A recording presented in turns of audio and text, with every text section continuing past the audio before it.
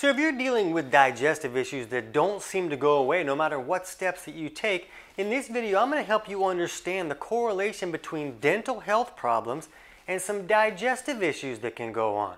We might find out that 4 out of 5 dentists don't agree after all. Let's jump in.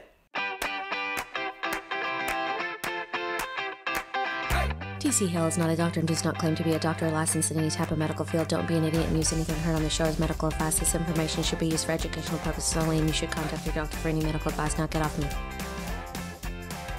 So if we want to figure out if dental issues might be contributing to any digestive symptoms that we're experiencing, we first need to understand that there's a variety of underlying causes that can create these digestive symptoms. But when we're looking at things like burping and bloating and constipation and acid reflux and maybe nausea or food just kind of sits there like a rock in your stomach for hours at a time. A lot of these can be caused by a bacterial overgrowth in the stomach or in the small intestine here, known as SIBO or small intestinal bacterial overgrowth. So when we're looking at this connection, we want to look for signs of a bacterial overgrowth that might be taking place in the stomach or in the small intestine. And if there's a bacterial overgrowth in the stomach, it's often because there was not enough stomach acid there to acidify the stomach properly and fry those bacteria as they came in the system on, on some food that we ate. And that's a very common thing to see today for someone not to be making enough stomach acid. So if this bacteria comes in and sets up camp in the stomach, it's often going to make its way down to this small intestine here.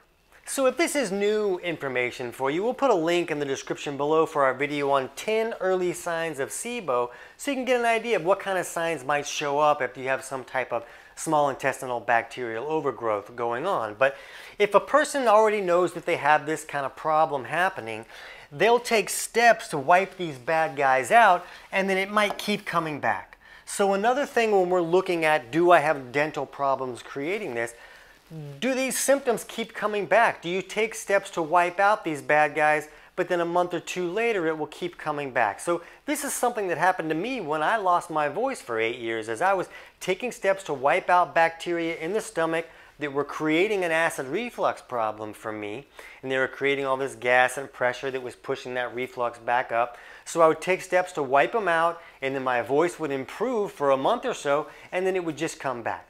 So what I found out is that I had issues up here. I had an infection in a tooth in a root canal that I had done long, long ago.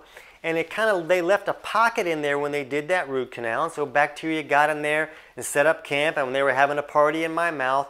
But it would basically, that infection would feed from my mouth down to my esophagus, back into my stomach all day long, every day. So of course it was going to reestablish the problem again because the source of the problem had not been taken care of.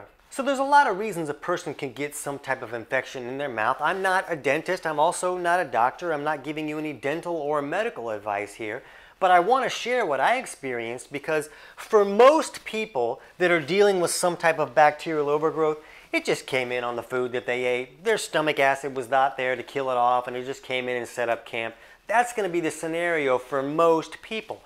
But for some folks, a dental infection could be creating the problem or bringing it back again and again. So the most common issues that can create an issue where there's a really strong infection in the mouth someplace is if somebody has known root canals, like, oh yeah, I had a root canal 14 years ago.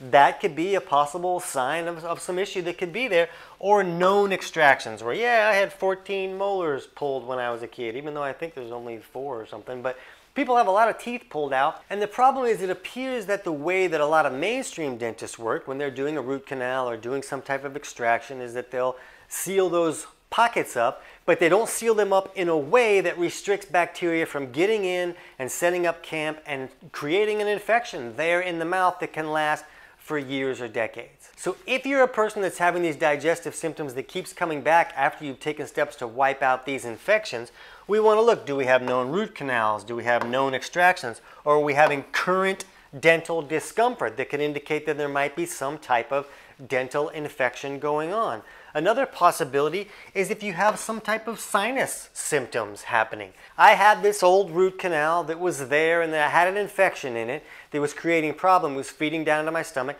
but I also had a sinus infection that was a chronic infection that did not show me symptoms on a daily basis, but that infection was also feeding down my esophagus. So that's a possible thing to think about if you're dealing with these recurring digestive problems. So if you feel like these things here are a possibility for you and you keep having these digestive issues come back again and again, even after you treat them and you feel like you wipe the stuff out. One thing that can be important is did you restore the stomach acid function? A lot of people wipe out a, a, bacterial overgrowth, but they don't take any steps to restore that stomach acid function, so the door is always open. So more bacteria just comes in on the food that we eat and they set up camp again. So if that's new information for you, we'll put a link in the description below for our video on four steps to improve low stomach acid. So you can look into that and see if that's something that might be appropriate for you.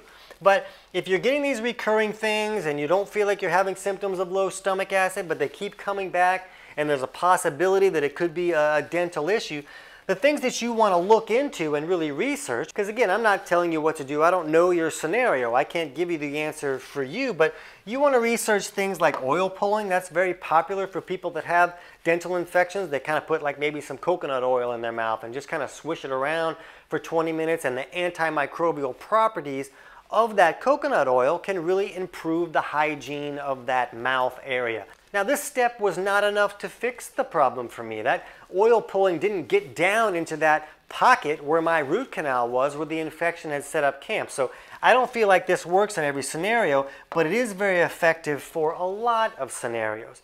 But the real step is you want to look in your area and see if you can find any biological dentists. And this is just a pocket of dentists that learn things a little bit differently. And they learn some methods that seem to be a little bit more effective at keeping bacteria out of the mouth when the dental work is done. So if you can look for a biological dentist in your area, you can go in and they might be able to let you know, yeah, I can see that there's an infection here and here's some steps we can take to take care of that issue. So for a lot of people, this won't be something that you'll be able to fix on your own. I was not able to fix the issue on my own. I needed to get a biological dentist to help me clear that infection out and then fill in that cavity so that it wasn't open for more bad guys to come in and set up camp again. But what's important is to understand the possibility. I just wanted to make this video to share that this is a possible problem up here. This can create trouble either in the mouth or up here in the sinuses that can feed right down. Remember, there's a tube. It's a little canal. Come on down, guys. That can feed right down in the stomach and into the intestinal tract. So I just don't want to see other people get stuck like I did where I was treating this over and over and over again, didn't understand that the main problem was up here. So this won't be everybody's answer, but for the few people that it is, this can be a life-changing information here. So if you want to hear more about my story and what happened with me losing my voice and the steps I took to correct that, you can jump over and check out our video on how I lost my voice for eight years. I can't wait to hear about your results.